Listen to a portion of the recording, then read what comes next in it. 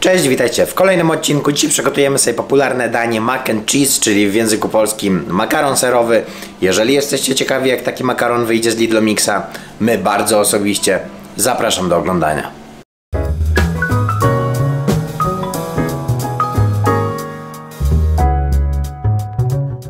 Do przygotowania makaronu z serem będziemy potrzebowali 250 g makaronu kolanka, pół łyżeczki soli, 80 g sera cheddar, 25 g parmezanu, 240 ml mleka, 30 g sera topionego gouda, 20 g masła, 25 g mąki, jedna szczypta gałki muszkatołowej, jedna szczypta pieprzu.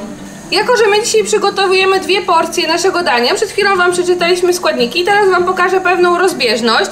Biorę sobie cztery porcje. Jak widzicie, to jest 300 gramów makaronu. W dwóch porcjach było 250, ale to jest nic. Mamy tutaj 120 gramów ostrego w smaku sera twardego. Przy dwóch porcjach, zobaczcie, 80 gramów sera cheddar. No i pytanie, który ser jest właściwy? My się kierujemy dwoma porcjami, czyli mamy ser cheddar. Czas przyrządzania naszego dania to 5 minut, łączny czas 15 minut, przepis oceniany jako łatwy i pochodzi z platformy Messier Cuisine. Rozpoczynam gotowanie. Na początek odważam 250 g makaronu, ja już mam to przygotowane. Następnie y, makaron gotuję al dente według przepisu na opakowaniu w dużej ilości osolonej wody. I w trakcie y, gotowania makaronu przygotowujemy kolejne kroki. Makaron obok nam już się gotuje, my bierzemy się za dalszą część przepisu. I jak widzicie, tutaj mamy kolejną rozbieżność w naszym przepisie, ponieważ każą nam teraz 75 gramów sera cheddar pokroić w kostkę, włożyć do pojemnika miksującego. My przygotowaliśmy 80 gramów sera i tak już zostawiamy. Ja sobie teraz go pokroję w kostkę i wrzucam do pojemnika miksującego. A Was zapraszam do dołączenia do naszej grupy na Facebooku oraz zaobserwowania nas na Instagramie. Linki znajdziecie w opisie tego filmu. Ser dodany. Czas na kolejny krok, teraz dodajemy nasz parmezan. Jeżeli chodzi o parmezan, który my przygotowywaliśmy, mamy parmezan w płatkach, to jest bodajże Parmigiano Reggiano, kupiony w jakimś tam sklepie. Także wrzucam do pojemnika. W kolejnym kroku będziemy rozdrabniać nasze sery. 7 sekund, obroty prawe 7. Rozdrabnianie zakończone. Dodajemy teraz 250 g mleka. Mleko ma być w temperaturze pokojowej. Czas na śmietankowy serek topiony. Dodany. Masło 20 g podzielone na kawałki. Wrzucam w jednym. 25 g mąki. Teraz dodajemy szczyptę gałki muszkatołowej oraz szczyptę pieprzu. Gałka i szczypta pieprzu. Myślę, że tyle wystarczy.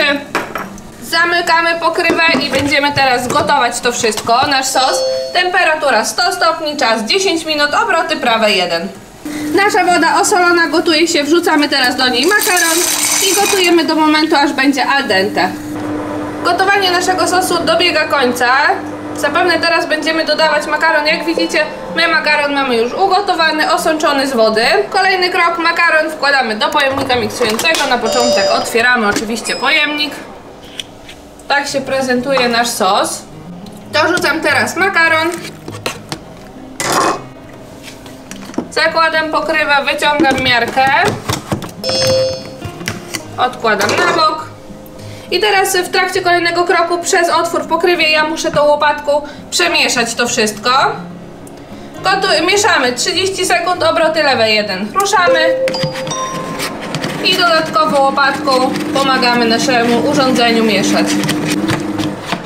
Krok zakończony.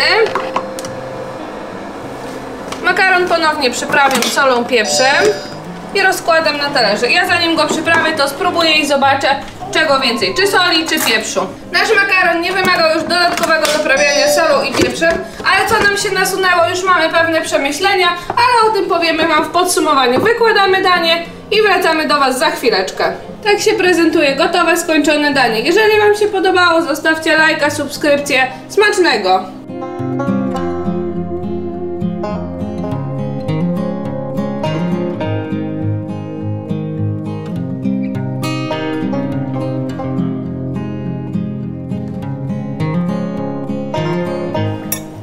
No to czas spróbować naszego dania, ale powiem Wam, że ja już sobie to wcześniej chapnąłem.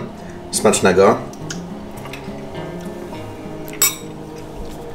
I powiem tak, no lipa. Smakuje to mocno średnio. Może inaczej, w smaku nawet, nawet jest ok, ale mąka absolutnie zepsuła całe danie. Danie jest tak mączne, pod językiem czuć normalnie fakturę, strukturę mąki, przez co to jest moim zdaniem bardzo słaba propozycja. Gdyby pozbył się tej mąki, gdyby dorzucił sera żółtego, a nie e, twardych serów, miałoby to ręce i nogi. W takiej formie ja raczej nie ponowię tego. Nie ma to nic wspólnego z takiego mac and cheese, które możemy znaleźć przepisy w sieci. Ogólnie propozycja mega, mega słaba i raczej nie warto ją robić. Raczej lepiej zrobić sobie e, ten makaron serem z jakiegoś przepisu internetowego. Na pewno brakuje tutaj sera żółtego i na pewno jest niepotrzebnie mąka dodana, ponieważ całość dania mączne, mączna, chrupie pod zębami 2 na 10. Szkoda było robić. Dzięki za oglądanie. Dajcie znać w komentarzach, co Wy sądzicie. Czy Wam wyszło lepsze, czy takie, taka struktura Wam pasuje. Widzimy się w kolejnych odcinkach. Trzymajcie się. Hej!